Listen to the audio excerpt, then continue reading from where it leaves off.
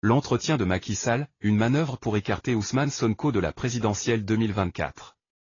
L'interview récente du président sénégalais Macky Sall avec les médias France 24 et RFI a suscité des réactions intenses et des préoccupations légitimes quant à la volonté du président de maintenir Ousmane Sonko à l'écart de la course à la présidentielle de 2024. Cette interview a jeté une lumière crue sur les tensions politiques qui entourent cette élection cruciale pour la démocratie sénégalaise. Il est incontestable que la politique est un jeu de pouvoir, et chaque acteur politique cherche à obtenir un avantage stratégique.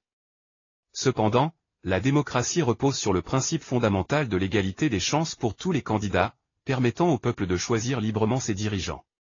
Dans ce contexte, les actions du président Macky Sall, telles qu'elles ont été perçues dans cette interview, soulèvent des questions sérieuses quant à la légitimité et à la justice du processus électoral à venir. L'un des points les plus préoccupants de cette interview est l'apparente volonté de Macky de certains médias de présenter Ousmane Sonko comme un candidat exclu de la course présidentielle. Cette tentative de discréditer Sonko avant même le début officiel de la campagne électorale est préoccupante, d'autant plus qu'aucune décision judiciaire officielle n'a exclu sa candidature à ce stade. Les règles démocratiques imposent que tous les candidats soient traités de manière équitable et que leur éligibilité soit déterminée conformément à la loi.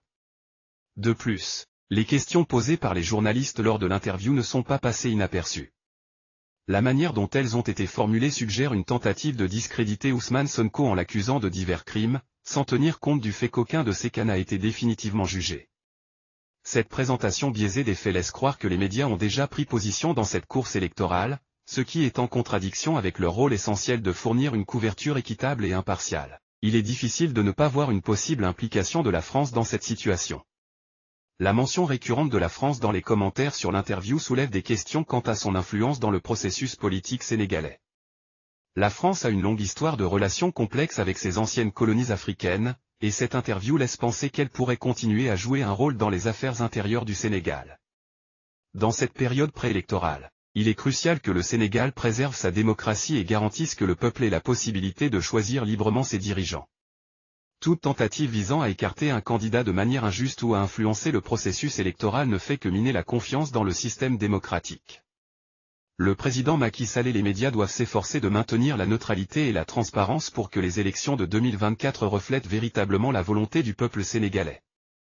En fin de compte, ce sont les citoyens sénégalais qui détermineront le futur de leur nation. Ils méritent un processus électoral équitable et sans ingérence extérieure, afin de choisir leurs dirigeants en toute confiance.